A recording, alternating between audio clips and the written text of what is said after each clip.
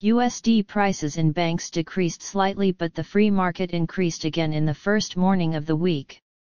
On the morning of October 28, the USD price at commercial banks decreased slightly.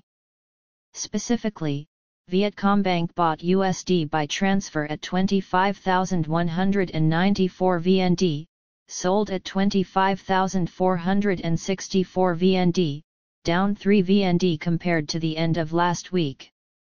Similarly, ACB Bank bought USD by transfer at 25,200 VND, sold at 25,464 VND, down 3 VND. The free USD price increased again, buying at 25,600 VND and selling at 25,700 VND. Meanwhile, the state bank maintained the spot buying price at 23,400 VND USD and selling at 25,450 VND as at the end of last week. The state bank's USD selling price is equal to the selling price for banks with negative foreign currency status to convert the foreign currency status to zero from April 19. The world USD price continues to rise. The USD index reached 104.35 points, up 0.2 points compared to yesterday. According to many analysts, the greenback's fluctuations now depend heavily on the upcoming U.S. presidential election.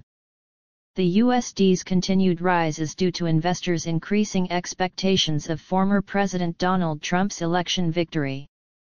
If Donald Trump is elected and raises import taxes, it will create pressure to increase inflation. This higher inflation could lead to a less aggressive interest rate cut path from the U.S. Federal Reserve Fed the market is expecting a 95.6% chance that the Fed will cut interest rates by 0.25% at its upcoming meeting in November.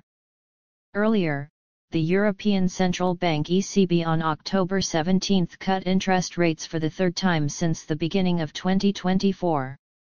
With a 0.25% cut, the ECB's interest rate is now down to 3.25%. The currency market is predicting three more rate cuts by the ECB by March 2025.